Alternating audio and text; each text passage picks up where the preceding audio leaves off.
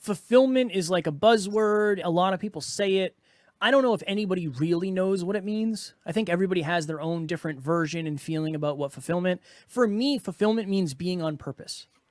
It means doing what you're meant to do in the world and enjoying the process of growth and contribution. I have grown more in the last year than I have the previous 31 for sure, but I've also contributed way, way, way more. I think from that frame, I've worked on myself every single day for the last five years where I actually have self love and I raise my level of self worth and self belief. I think I am aware enough now to understand what triggers me when I'm just having a bad day. So somebody asked me one time, Do you think it'll ever happen again? And this was probably three years ago. And I said, I don't know. I don't know if it will. I can say confidently now that I would be very surprised if it ever did because I feel like I'm doing the right things consistently. I just have such a big mission now that I get to do what I love every day.